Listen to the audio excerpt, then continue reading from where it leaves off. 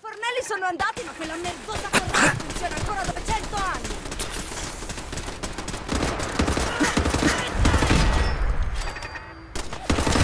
Gli altri giornalisti o solo a me?